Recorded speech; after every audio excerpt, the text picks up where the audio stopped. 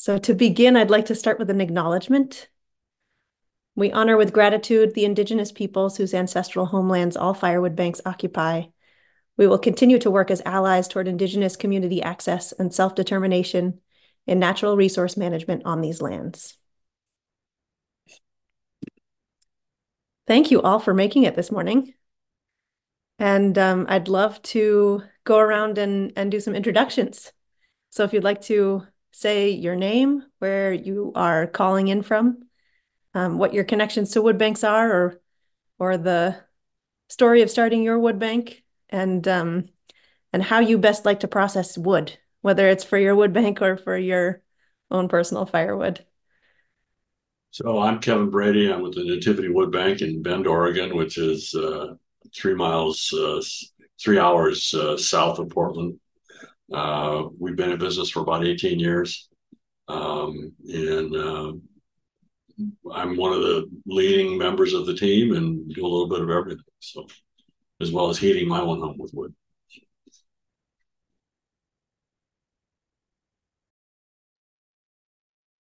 Thanks. Next person can jump in if you'd like. Hi, I'm Stephen Yulman. I'm in Holderness, New Hampshire, and I just started a wood bank this summer. Um, I work at an independent uh, boarding school, um, 9 through 12. So, um, getting the students and other faculty and staff involved.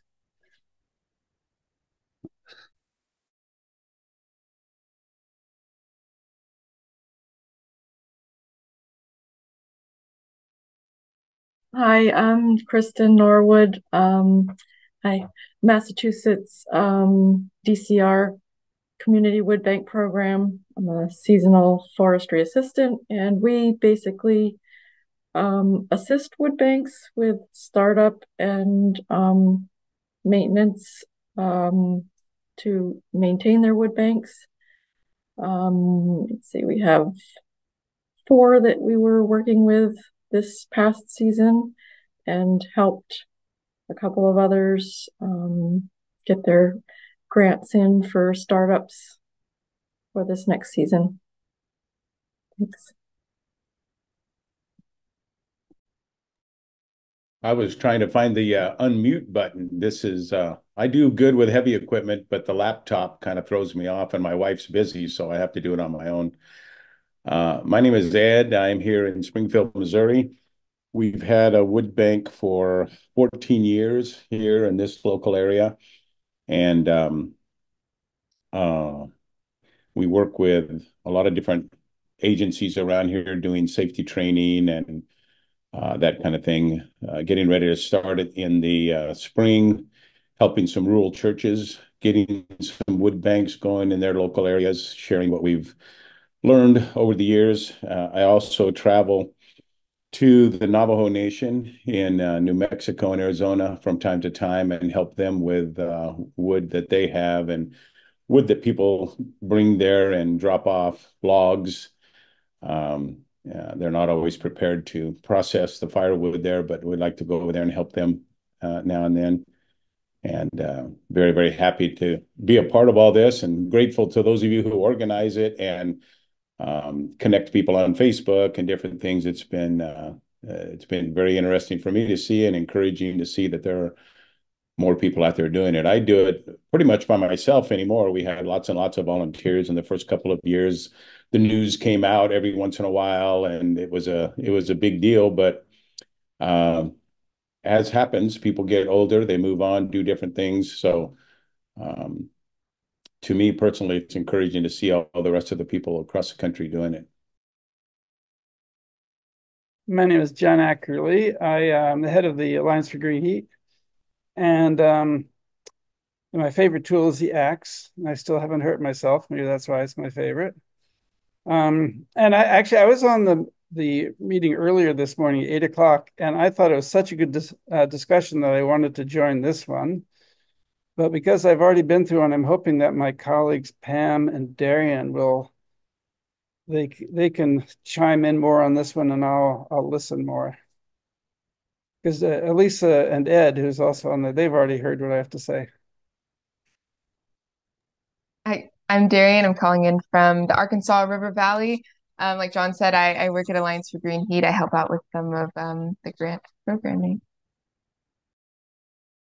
Yeah, hi everybody. I'm Pam Porter with the Alliance, also for Green Heat, and I live in Madison, Wisconsin, and I uh, have a wood heater in my fireplace, an insert, and we burn about two cords of wood, sort of sort of supplemental heating in our house, and our wood comes from our cabin in the north woods of the UP, where we have a hemlock and maple forest. Um, so there's always a tree going down up there. So we we uh, gather up the wood and bring it down to Madison and use it here in our in our fireplace here, our wood stove. But it's nice to see your faces. I recognize a few of the names from some of the grants this year. So nice to see you all. Nice to see you, Stephen and Kristen Kevin. Thank you all. That's awesome. So some of the questions that um, that you all wrote in with your registrations had to do with uh, liability insurance and with oh we have a we have a young member as well. That's great. and and with um, wood processing tools, specific tools that would be helpful for wood banks. Um, so I don't know which which direction we want to go first. Um, whether we want to talk about equipment and uh, and PPE. There were questions about uh, what's the best log splitter for a wood bank. Um, what what keeps your volunteers the most safe? And maybe we can talk also about um, training training procedures, training any kind of safety training that you do with volunteers or that you encourage wood banks to do? Um, what what are your practices? I know, Stephen, you're just starting out, but maybe it's just you.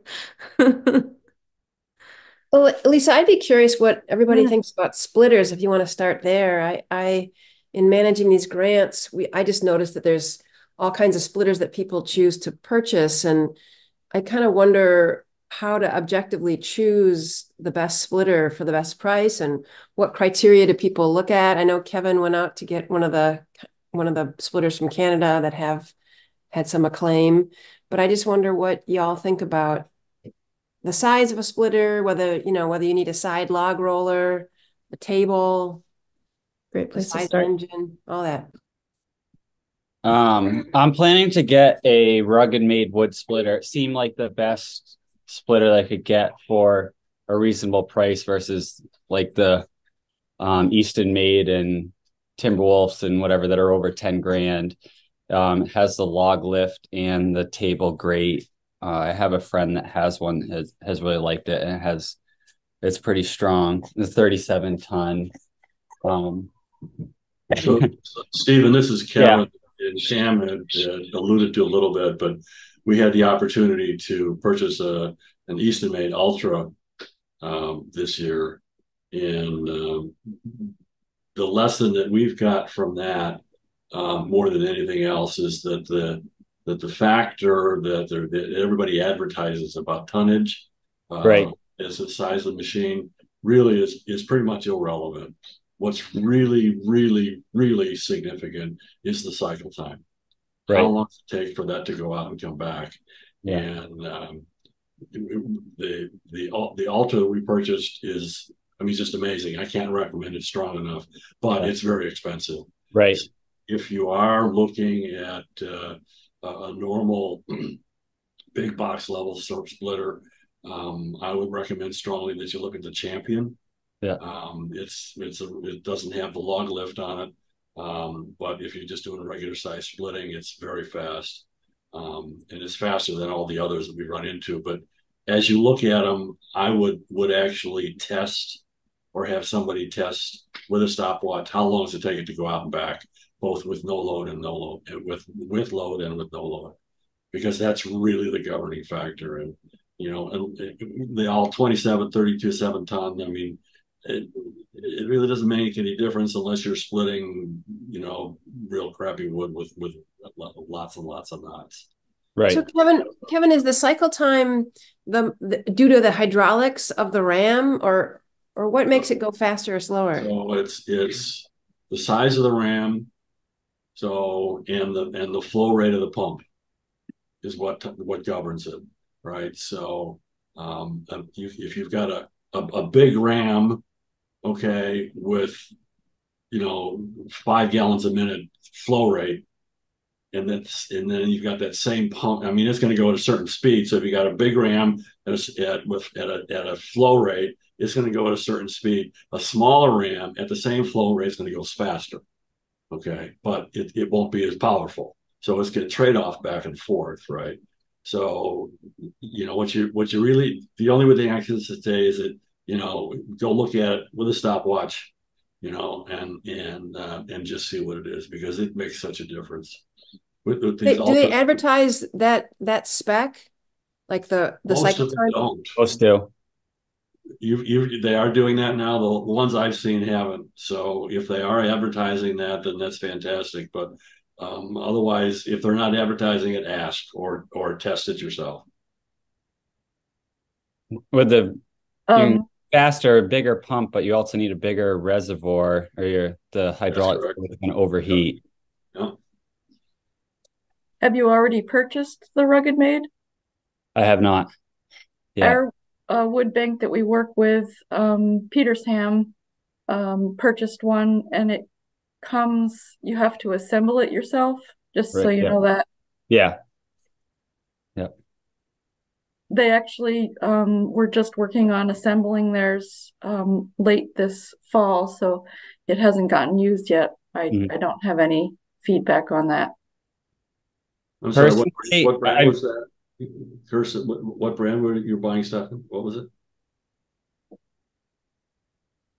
Rugged Made. Rugged Made. Okay. Yeah.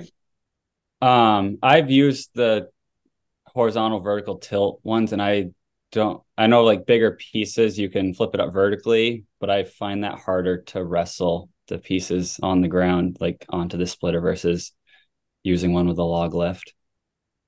Well, I, the log lift is much preferable. I agree with you. We've we've got a a, uh, a an Eastonmade we bought about five years ago uh, with a log lift and one of their 1024s.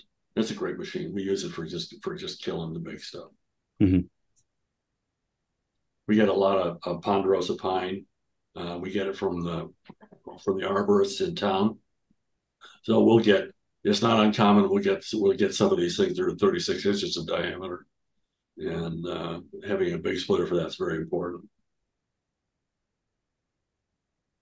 I've actually found it useful to have one with a lift and one that can go horizontal vertical if that if, if you have that possibility. Um, this summer we were working with stuff that was so huge and we were in a confined space so we we have an Eastonmade and we weren't able to use it there. Um, so we have a just one from Tractor Supply that goes horizontal and um, vertical, and, and it was very useful for breaking down the gigantic rounds. What's the advantage of the horizontal and the vertical to, to in your perspective, Kristen?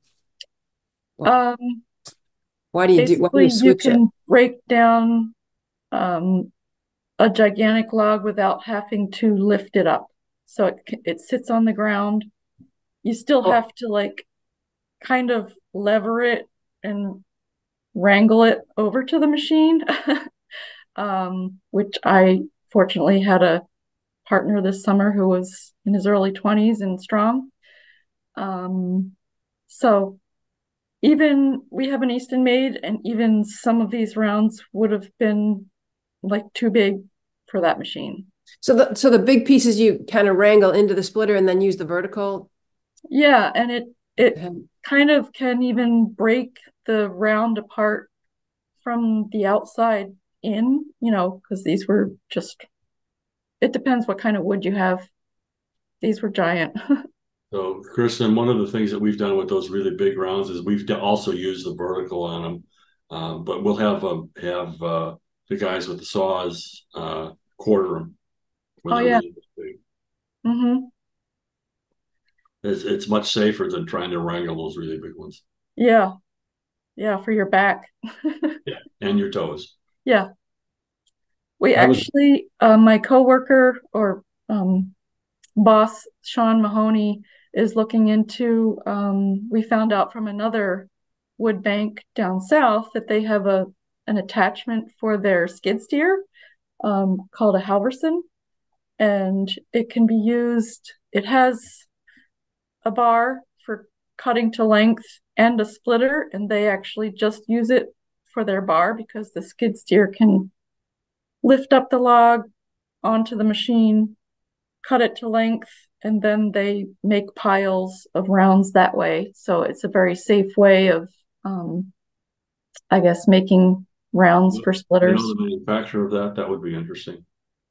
Halverson, H A L V E R S O N, I believe, or S E N. But if you Google it, it comes up. You can find them used or new. We're looking for safer ways for not having to chainsaw every round as well.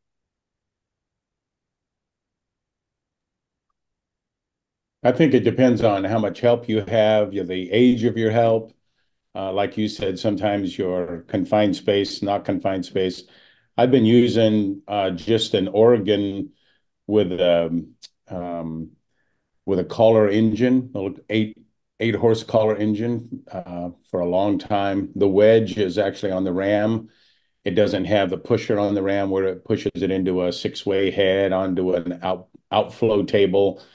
And, you know, if you have 20 people standing by to stack wood, then, you know, your big ram or your high speed flow rate and your table, all that kind of stuff would be great. But when you're two of you, or for most of the time, it's just me, my little 22 ram, 22 ton ram has been working great.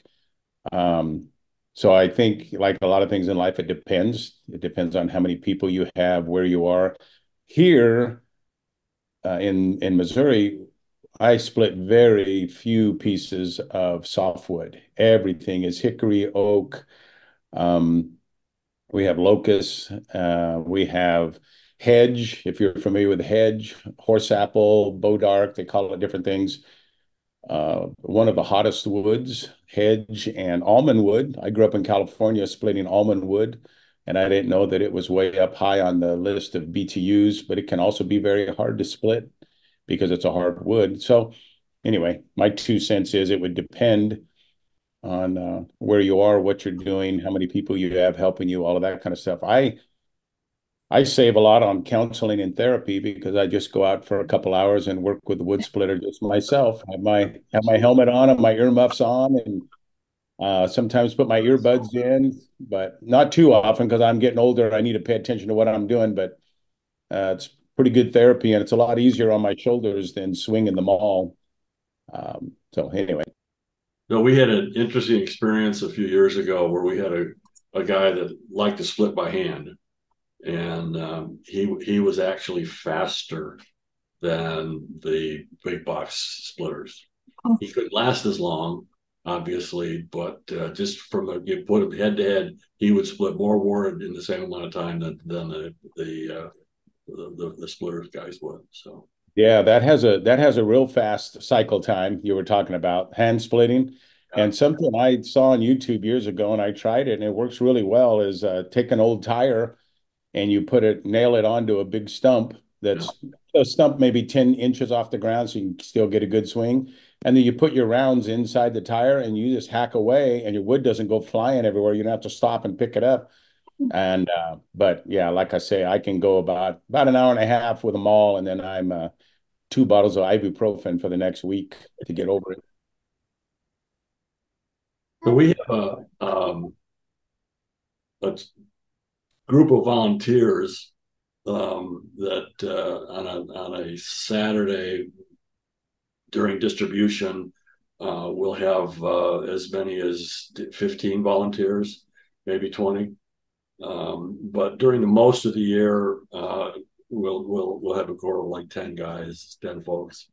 And what we've discovered is probably the fastest and most efficient way to run these splitters is to have at least two, sometimes three people on each individual splitter, where you'll have one guy running the handle, another person loading and a third person unloading or keeping the you know it coming and going and that gives us the advantage that because we have a lot of people that uh, for age related whatever physical relations can't do a lot of lifting right?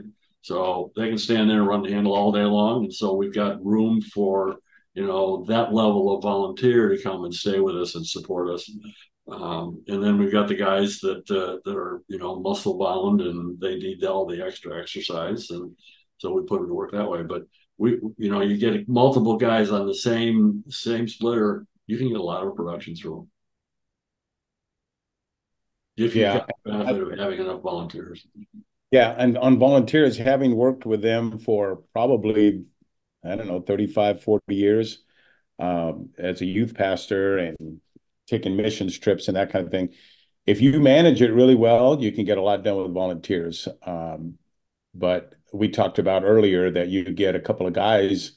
You, uh, my dad used to say, you know, one boy's a boy, two's half a boy, and three boy is no boy at all because they'll start competing, they'll start getting in trouble. Uh, but if you can manage that, or you have, you know, you, uh, it's kind of like um, the um, the ratio, right? For training, you need to have uh, one supervisor for every five boys if you're going to have splitting mauls and and sharp objects and wood flying here and there.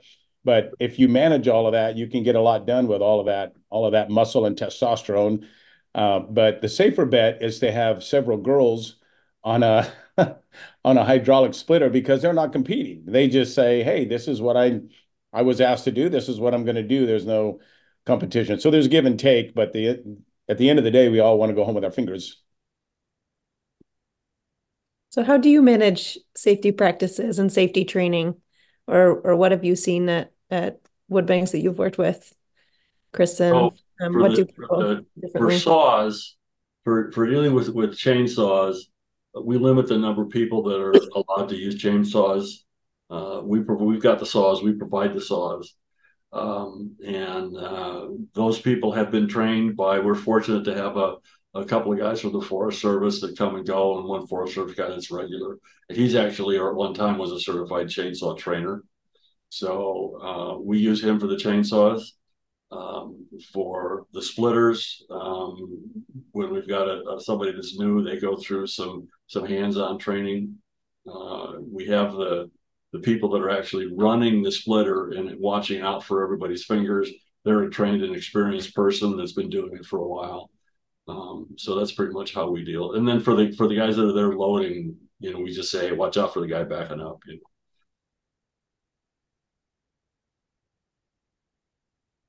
Same with us. Um, we limit it limit the chainsawing to well, so we're a state agency working with wood banks, so we try to prepare our rounds um, ourselves ahead of time and maybe like the actual community's wood bank coordinator might do some chainsawing as well but most of the volunteers don't have you know, the firewood rounds are already prepared so they're just splitting and stacking or moving firewood.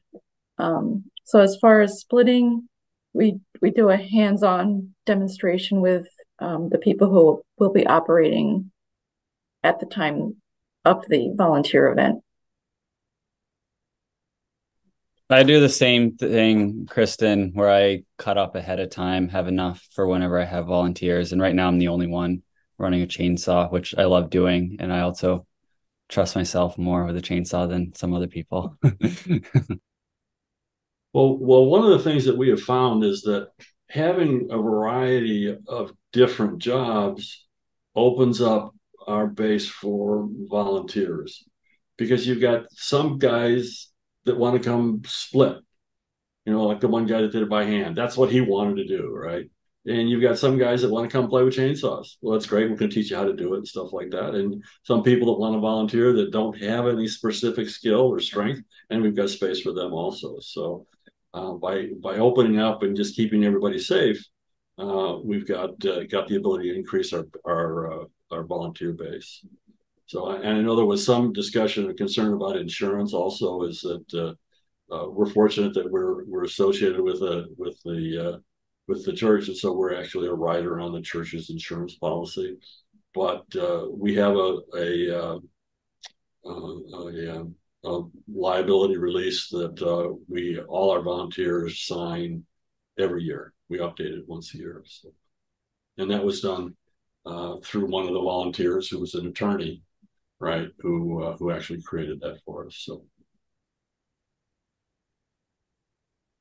We have a volunteer liability release as well. Um, and usually each town that we work with has their own. So at the beginning of a volunteer event, um, they make sure they have those distributed and signed.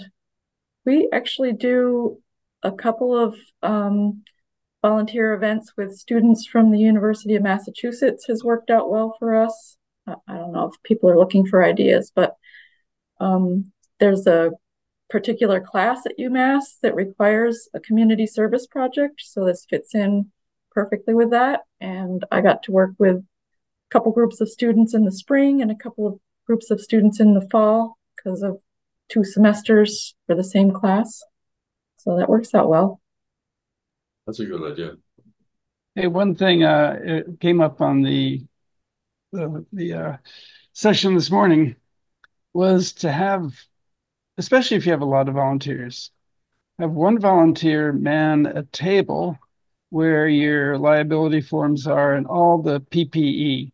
So before anyone reaches the site, they have their earplugs, their safety glasses, their gloves, um, and their uh, chaps if, if they're going to be using the chainsaw. And I just never thought about just having a table with all that stuff on there. So it's really easy for everyone to see and grab, and that who's ever in charge, you know, can easily make sure everyone's using what they need to use. Yeah, John, we, we've actually this year actually evolved that to one further step where we've actually got a shed for that right now. But actually, what one of the things that we've discovered for the last few years over a while has been actually the hardest job in our organization is uh, coordinating um, wood pickups and volunteers and all that paperwork. So we actually this year we were fortunate to be able to. We've actually got a, a part-time person that we've hired to do that. Um, who because because for distribution, uh, people call in for an appointment to come in, so we control the number of people on any particular Saturday, and we control the the amount of wood that's given out. Uh, people are allowed to take it take wood like once a month. Um, so she coordinates that for us also. And believe it or not, that's actually the hardest job in the whole, the whole organization. So uh, it's it's it's definitely worthwhile having a person focused on that. We used to volunteer for that for a long time, and that worked fantastic. Uh, but she got burned out from it. They got burned out. So it's definitely worth having. Stephen, you're on on mute, Steve. I'm talking to my toddler that's eating lunch across from me. I was going to throw in something about equipment, uh, not to get away from insurance, but to include with insurance. Uh, because I, I teach uh, truck driving as one of my one of my training things I get to do at my the big nonprofit where I work, we're always talking about um, weight ratings, uh, power unit ratings, safety chains, et cetera, et cetera, et cetera. And in between the morning meeting and the evening meeting, I ran into town, which was probably 12 miles to the truck stop, to weigh a trailer that I have loaded where we're going to um, take some sawmill slabs to a church. And even though I'm not going to cross any scales, uh, you know, you want to make sure that that it's within the weight rating rated for that trailer. And so I just throw that out. Earlier, somebody said that um, in the earlier meeting, when somebody, when people come to their uh, bank to receive wood, the people volunteering there, they don't even load the trailers. They let them load themselves. So you put your load on your pickup and or your trailer, and it kind of releases the wood bank of having the possibility of overloading. Uh, when we go to disasters and give people, uh, people come to the church and they in pickups and trailers and they want to load you know, water, supplies, whatever it is that we have taken down there after the hurricane. And we will load a certain amount of stuff on their vehicle and stop.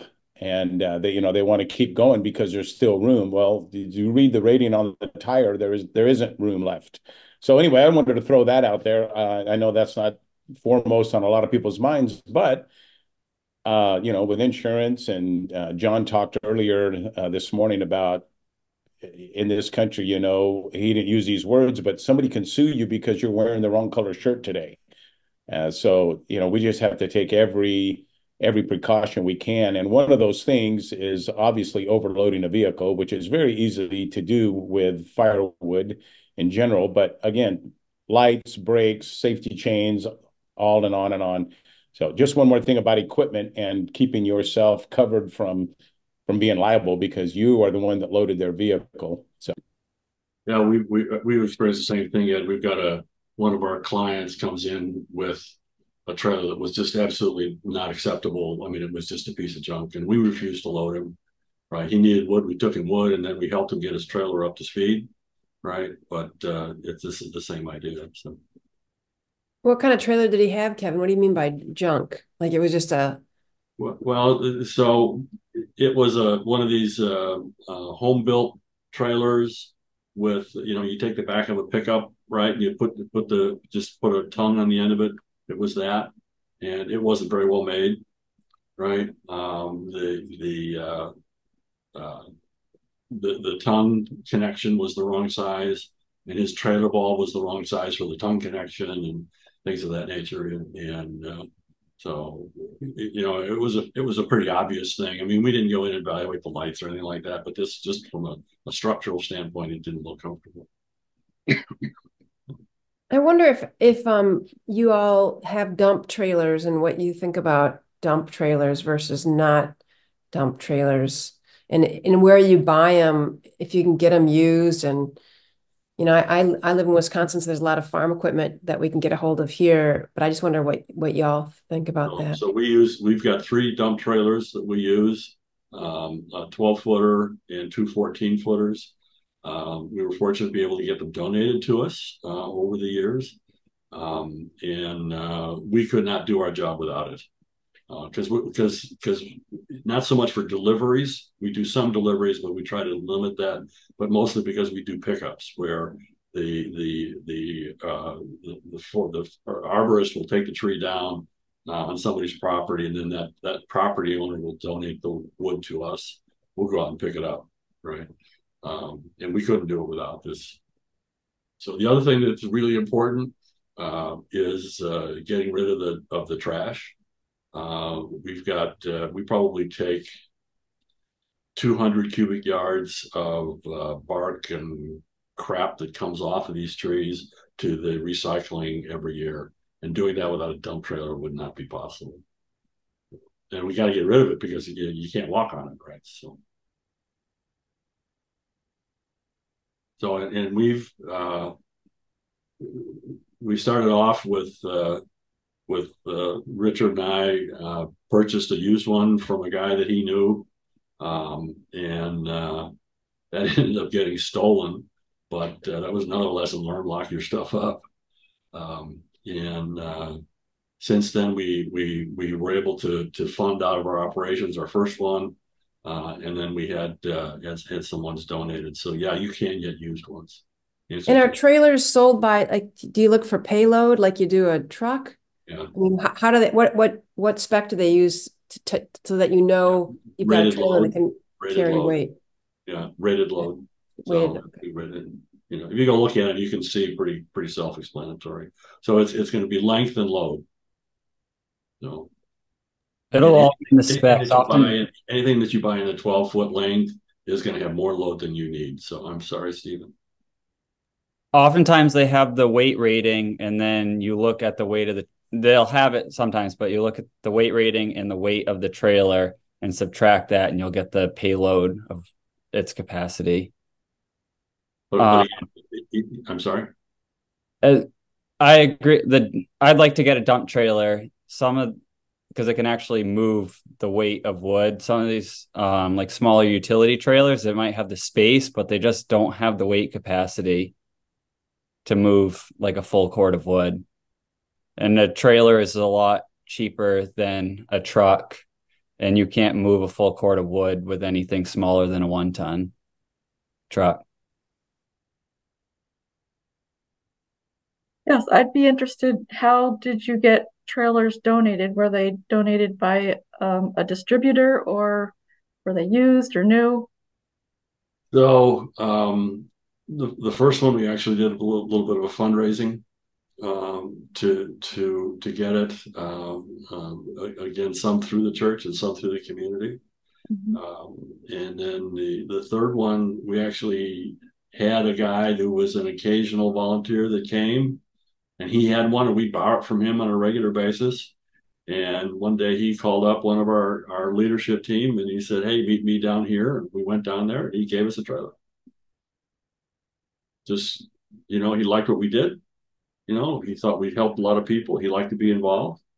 Uh, he asked that it, that it be anonymous, you know, so he didn't want anybody in the woodlot to know he'd done it. But uh, um, the uh, and on the on, on one of the ones that we we purchased, we had uh, uh, the father, the elderly father of one of our members, uh, donated three quarters of the cost.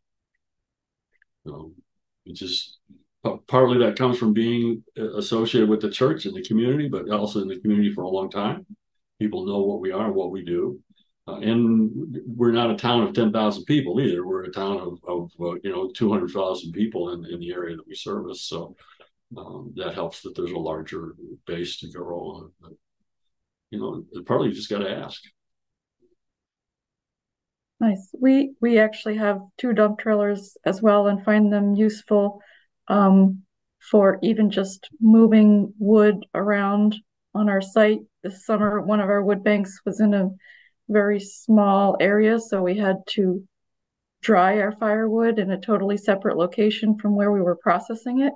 Um, not to mention it was very wet where we were processing it um, with a rainy summer. So it's just been yeah, very we, useful even for moving stuff around. So, so one of the things that we purchased two years ago that has been uh, a big thing that I don't hear talked about a lot is that we had a, we bought a, a, uh, a conveyor elevator, right? About uh, 10, 12 feet long. Uh, I'm sorry, it's a 16 foot long elevator. And that allows us to, to uh, move you know, we're splitting here, we move it over there. You guys don't have to throw it, you know, as high. And uh, that was it was uh, relatively inexpensive. I mean, the the ones that the firewood guys, you know, like Eastonmade and and those guys, they sell they're very expensive. But this one, we got this, and you know, showed up at our door for less than four thousand dollars. So it's a it's a good use for the grant. So that came from a, a group in uh, in, in the Carolinas someplace, or it's called uh, Chipper LLC. Was it um, new? You bought that conveyor new? New. Yeah, I think it's actually made in, in Norway or someplace like that, based on the markings on the box, or Germany, something like that. And uh, got a little Honda engine on it, and it works great. How much do dump trailers cost that you've seen used or used or new? What's the what is that you know, price I, to be? I don't remember. Let me see what Google says. A new is going to be around seven, eight grand. That's what it is in our area. Um, I would, I would, um, not that you need caution, but if if somebody has a dump trailer, uh, you're right. You can put more weight on it. You probably have seven or eight thousand pound axles, so you're going to gross at sixteen thousand, which is great for especially moving wet stuff or you go somewhere and somebody uses their skid steer, they're giving you a bunch of logs or a bunch of rounds. That's great. Uh, the downside is some states are, I hate to be Debbie Downer here, but some states really are cracking down on the whole CDL thing. And being a CDL trainer, uh, we have people in our state, and especially in Oklahoma, where they just have a gooseneck to haul their horses around to go to the rodeo, and they're getting pulled over and getting a ticket because they don't have a commercial driver's license uh, because the horses inside the trailer, uh, they call it commercial because you could make money at the rodeo. Obviously, they've never been to a rodeo and had horses taken to a rodeo because it's it's a losing proposition, not a winning proposition. But all that to say, before you, I know none of nobody here is talking about getting really big with trailers, but before you get too big, make sure in your area that you're not going to get in trouble because you don't have the right licensure. Um, because that happens around here to the to the average Joe Blow trying to move his tractor from point A to point B or his horses or load of hay just on a gooseneck uh, behind his behind his pickup. Uh, so I again, not to be a downer, but that's the kind of stuff I teach all the time. So I wanted to make sure that you check that before you get get too big. Now the ones you're talking about, you know, to move six, seven, eight thousand pounds, maybe ten thousand pounds, you're probably in good shape. But once you get up into the fifteen thousand rating, you may have um, uh, old Smoky Bear around the corner looking to, oh, these guys are moving this wood back and forth. What are they doing? So just just check on it. Some, some companies to make his quota, right? So Ed, what what's a gooseneck? Is that the where the ball is on the trailer? Yeah, the gooseneck goes over the tailgate and hooks into the bed of the pickup, and so that uh, distributes the weight uh, more toward the front of the pickup than the rear of the pickup, and you can typically you're going to have a lot more weight on that trailer, but in general, not again, not everywhere, but in general, with the Department of Transportation rules, when your trailer is rated more than 10,000 pounds, that means you can, when it's loaded, it weighs more than 10,000 pounds. Uh, and com combined with the towing unit, you know, you're getting over 26,000 pounds. When you get over 26,000 pounds, you're moving in, you're moving from I'm renting a U-Haul for the weekend to I'm getting up into the truck driver class. And typically they know you're just moving wood around, your neighbors helping neighbors, and you're okay. And most everywhere, I think that's how it is. But like I said, here um, we're at the southwest corner of Missouri, so it's only 80 miles to Oklahoma and it's 40 miles to Arkansas. And there are a lot of those uh, law enforcement people cracking down on the average Joe moving hay and cows and horses. And so just a precautionary note for your to to research your area so you stay out of trouble. Because it can be, you know, if you overload your trailer here anyway in Missouri, if I, that's why I just went and weighed my trailer and I was pretty happy. I was 500 pounds underweight. So I guessed my slab load pretty good. But if you, if you are rated for one rating and then you are caught and they weigh you and you're over your weight rating, here they call that a registration violation with like a max of $150. But my big concern is, and I teach our guys while we're we're teaching truck driving, if you are in an accident or something happens like that and you were a thousand pounds over your weight rating uh, now somebody's injured or killed or whatever and you were you know now you're not a registration violation. Now you're in big trouble. So again just a precautionary note uh, because that's the world that i live in for the dot stuff. Bigger is not always better in my opinion. You know i can i can look like little Joe Blow moving some wood around because that's who I am. I'm not a, I've never, I mean, I've given away probably 1,400 pickup loads of wood and helped with over 120,000 pounds of wood on the reservation, and I've never sold a stick of wood. So I really am Joe Blow, not out here for commercial reasons, but I need to keep looking like Joe Blow. Does that make sense? Like, you know, Billy Bob just running down the road with a little bit of wood. If I had a, my luck, if I had a gooseneck they'd pull me over and say, "Hey, what what are you doing? Where are you going?" But I'm just putting around with my little trailer, my little three quarter ton pickup, so trying to stay under the radar.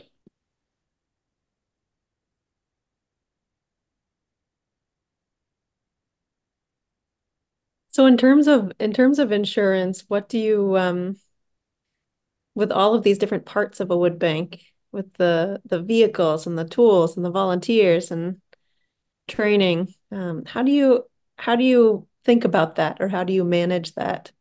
Um, and and like you were talking about how it often it often takes uh, people to specific people to manage volunteers and manage safety training. Um, who do you put in charge of of figuring these things out? Having heard all of this now, I think I want to quit. It's pretty scary. Just teasing. So we've just kind of uh, evolved over time where um, we realized that, uh, hey, get a couple guys show up with chainsaws and maybe they weren't as being as careful as we wanted, right? So we got into a situation. We says, no, if you're going to chainsaw for us, you're going to have to be certified, not officially, but you have to be, you know, at least talk to our experts on it to see what you're doing. Um, we had one situation where we had a we were out doing a pickup and all of a sudden I realized that we had 10 guys with chainsaws on this log pile working it and that just didn't make any sense. It was stupid, right? And so as I say, it's evolved over time. The same thing with with uh, with with our coordinator is that uh, you know we had to coordinate the, who was coming to pick up wood when, and we had volunteer doing that. And the first one did it for a couple of years, then a couple of years, and then we got to the point where hey, we needed to have somebody who was really you know guaranteed to be able to do that because at least from our standpoint from the from the people that are running this thing that literally is the hardest job because you're dealing with all these different people and keeping track and that's away from the fun stuff at least in our mind you know so um and uh and, and then from there we evolved into well you know what sort of insurance do we have and fortunately again we were able to do it under the church you know as a right of the church policy but we actually had somebody we had a, a a uh, the insurance canceled on us one year because they thought we were in the in the, in the lumber business, right? I mean, it goes to your point, Edward. So somebody we had had, had a log truck delivery, a self loader log truck, that delivered some logs to us, and somebody took a picture of that and posted it on our Facebook page. And the insurance company said, "You guys are loggers, we can't insure you." So it took us it took us a while to get through that. You know, it just kind of as as we worked our way through it as we got to it. So um, we uh, it's been kind of an evolution, I think is the point I was trying to make. Something you said, Kevin, uh, sparked a memory in me, which is surprising that I remembered something. I get pretty excited when I remember something. Hmm. Uh, this year, I went through Montana and I was able to stop at a wood bank in Montana. Met some guys, a recipient of the grant. met them through the Facebook page and traveling through seeing family. And I stopped to see them and they we've done that here with our with the other nonprofit I work with, and they did it at the Montana Wood Bank.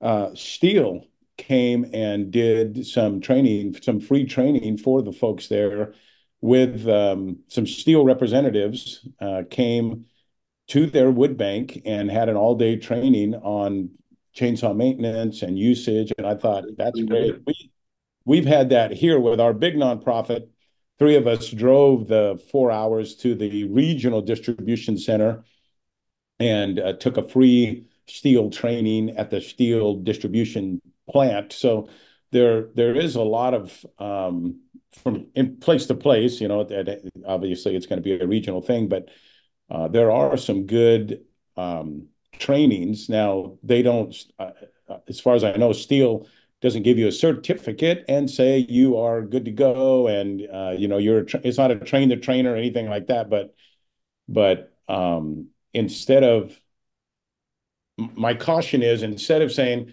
well it's too much money because i'm going to it i'm starting a training in january and it'll go all the way till april and then i will be a, a certified trainer uh, but it's a $1200 course so you know these things aren't for everybody but this is felling, disaster cutting. This is all kinds of stuff. It's not just your basic. What most people at wood banks need, like you're saying, are the basic. We want to cut up logs, uh, the big rounds. We need to cut again. Those kinds of things. We're not. We're not loggers. We're not dropping trees for pay. We're not. You know. We're not skidding logs. All that kind of stuff. But I think in a lot of places there would be resources for free um, safety awareness training from from dealerships and that kind of stuff because they want everyone to operate operate the equipment safely as well. Just a thought came to me. That's a good idea. Thank you.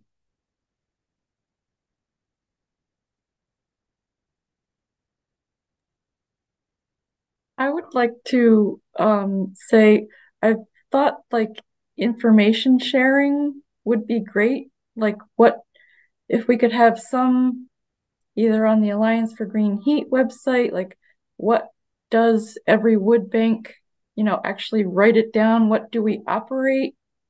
What would we feel are our, you know, most useful pieces of equipment? What do we feel is not useful? You know, don't buy this. I'm sure I, I see I wanted to mention to Pam, she probably sees a lot of stuff come through um, on the grant applications. And I just feel like it would be great to not have to reinvent the wheel. Like I learned at the national summit about the Halverson from the uh, the green firewood ministry, green firewood ministry down in down south. Um, and Sean and I are excited about trying this new Halverson piece of equipment out or trying to um, bring one into our inventory. So just um, information sharing, I feel like would be very useful in some some way. Yeah, we totally agree, and we've been thinking about that, and and we need to get on it. I think just having a uh, yeah, like a document repository, um, or maybe highlighting, you know, kind of the best, I don't know, best practices in various documents or something. Yeah. Do you have a suggestion, Kristen, of how to do that? What you'd what you'd like to see? Um, I don't maybe maybe each wood bank, if there could be some form to fill out, um, listing your pieces of equipment that you're using and maybe um, rank them in their usefulness some way. Um, and have that shared amongst wood banks or shared online somehow. Yeah, make the wood banks fill stuff out, put the burden on them. Okay, so that I I thought you were talking about like insurance documents, uh, but uh, yeah, there's I think any number of documents that we could share that would be really helpful. But if um yeah, it'd be uh, I think we could do one. You just you fill out a form and you choose the the brand of like splitter you have and do a little review of it. I think that'd be great. Yeah, especially for startup wood banks, um, just knowing where to start from.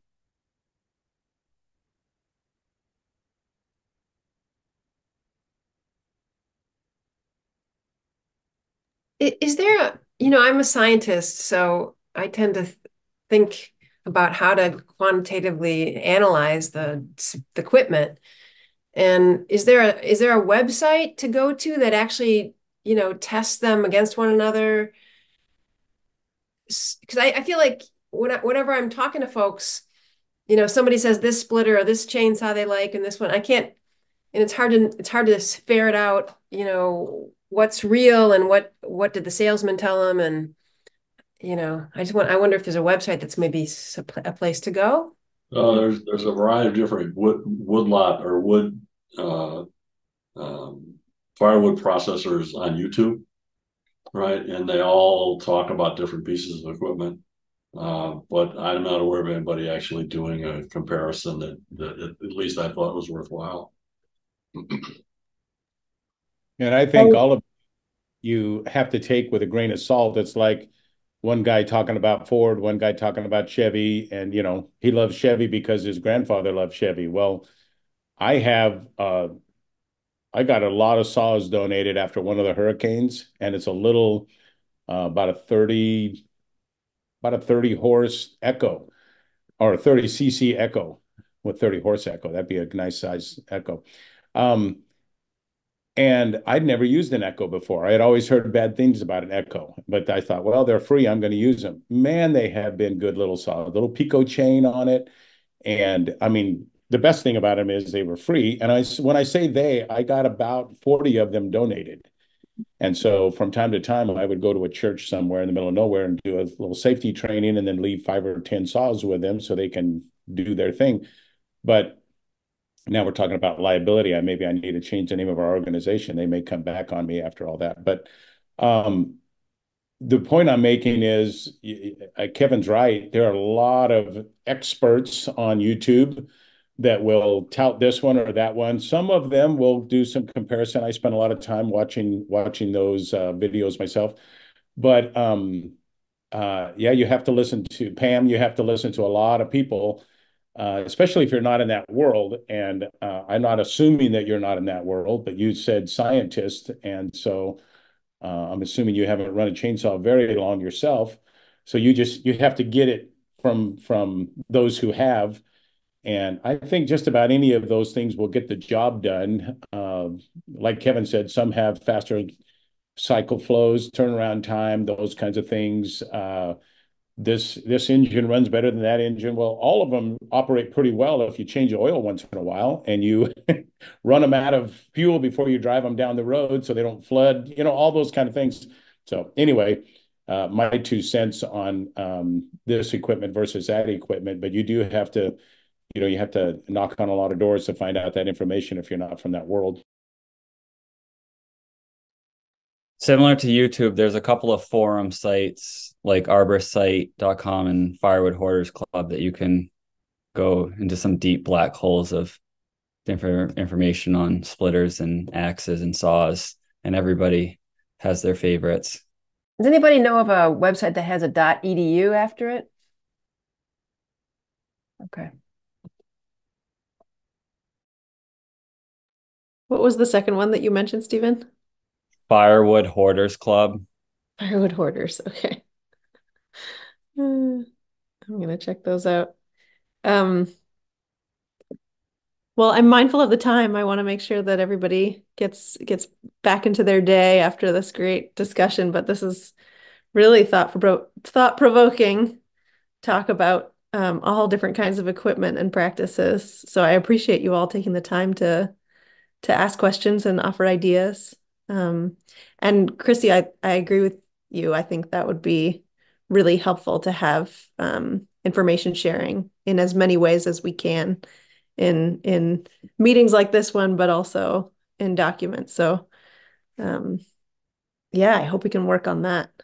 I think a Google form, sending out a Google form could be good and see what you get for responses and like what equipment, not just what you have, but what do you find most useful? What's yeah. or what have you purchased that wasn't useful or yeah. Yeah especially cautionary tales. Yeah yeah. And i'd encourage all of you to to join the google group too if you're if you're into google um the google world. Uh and that that i was hoping will be a place where we can share documents if people want to share their um insurance policies or liability practices and also I think it would be a great place to start a conversation about about what's great and what doesn't work for tools and equipment. So if you have any other um, questions or ideas as as you think about this conversation, please don't hesitate to reach out, and I hope we can address them in some other meeting like this or some some future webinar. Um, any experts that you think would be useful to hear from, um, it would be great to to keep this conversation going. And I'll I'll be sure to share the recording and whatever whatever information comes out of the the meeting as we go on. So thank you again, everybody. What a great meeting. Take care.